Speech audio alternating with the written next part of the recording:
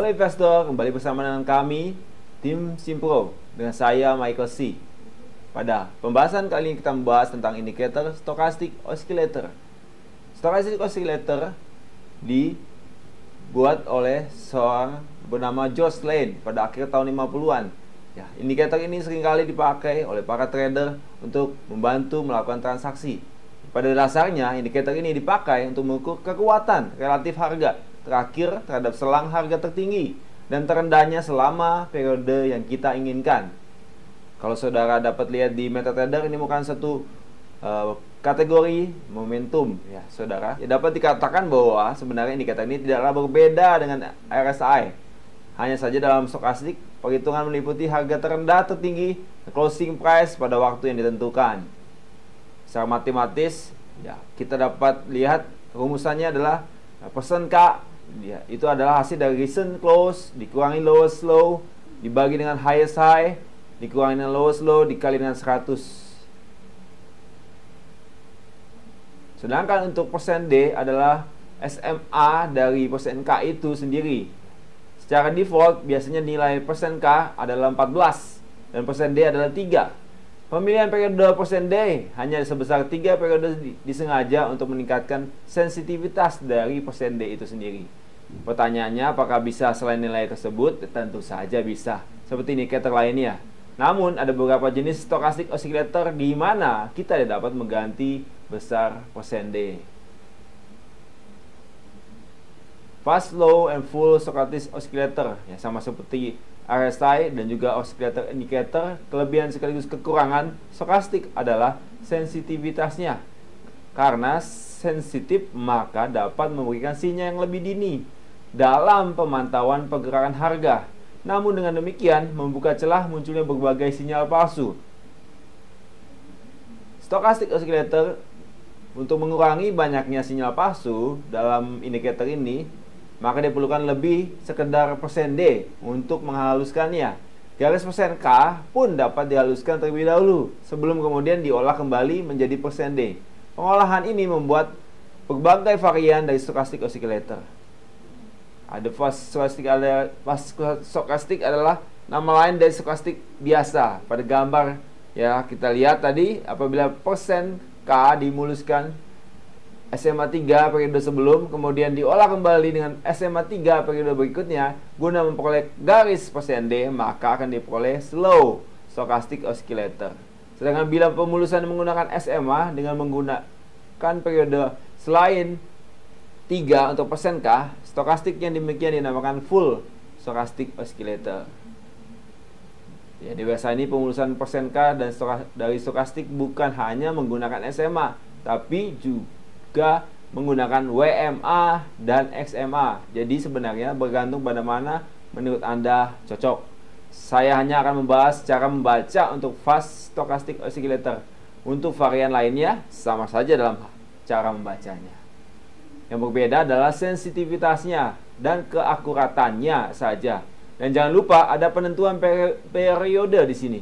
Jika persen K kita ubah periodenya menjadi lebih besar atau lebih kecil dari 14, maka juga akan menghasilkan keakuratan yang berbeda tergantung per yang Anda akan transaksikan. Dapat lihat di gambar tersebut. Contohnya, Ya, ada beberapa informasi yang dapat kita peroleh dengan stochastic oscillator. Namun secara umum tidak berbeda dengan informasi pada RSI dan SMA. Dan memang stochastic oscillator sebenarnya adalah gabungan dari kedua jenis indikator tersebut dengan cara perhitungan yang berbeda. Seluruh secara seluruhan indikator ini dapat kita gunakan untuk menentukan keadaan overbought atau oversold. Yang artinya prediksi tren untuk jangka panjang. Perpotongan persen K dan persen D sebagai short term trend dan bullish bearish center line. Keadaan overbought atau oversold menurut stokastik diperoleh bila garis persen K telah memasuki batasan 20. Ya, kalau dia over sold ya batasan 20 ya di bawah. Ketika dia oversold di batasan 80, overbought di atasan batasan 80 ya di atas Saudara. Investor. Dan untuk sama dengan RSI bukan? Tapi harap diingat bahwa batasan 20 80 itu bukan batasan mutlak, bisa saja 30 atau 70 atau yang lain. Jadi jangan heran bila saya juga menggunakan batasan yang berbeda dalam menentukan kondisi overbought atau oversold dalam situasi ini. Keadaan overbought atau oversold ini akan memicu naik turunnya harga dalam jangka panjang. Apabila sudah terjadi kenaikan harga namun stokastik sudah menuju titik overbought, mulai meninggalkan area tersebut, itu berarti akan terjadi tekanan pada laju kenaikan harga yang pada akhirnya membuat harga kembali ya sampai keseimbangan yang baru.